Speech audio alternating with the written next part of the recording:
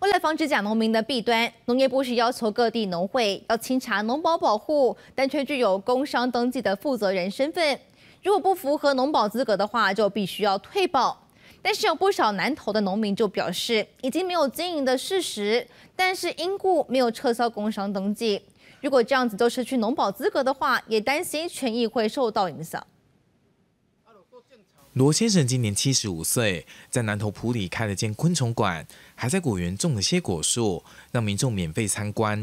但竟然却收到通知，昆虫馆有盈利的事实，不符合农保规定，缴了四十多年的农保资格可能不保。税监处认为讲我哋有啲营业红看，啊到底有收无收，伊无了解，所以就甲我扣我营业所得税。啊，我嘛认为讲啊嘛无要紧啊，就可以扣。啊，你你即摆讲我有个昆虫馆。啊，我农保都爱搞我退掉。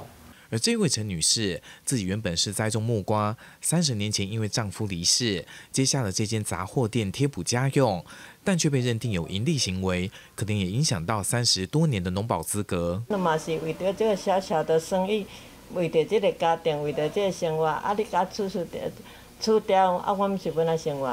根据监察院今年的资料，全国专业及经验农民的人数大约五十多万人。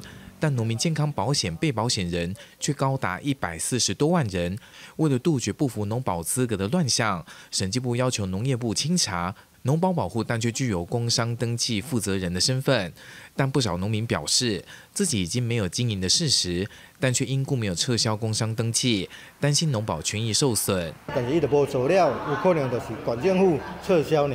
但是经济部那边，伊的工商登记要搁伫咧。呃，农保这类的。保障有一些不是农民身份的人，他也要来去享受这样的福利的一个保障嘛。审计单位他就是把我们目前就是所有在保中的人跟有去做工商登记的人去负责人去做比对。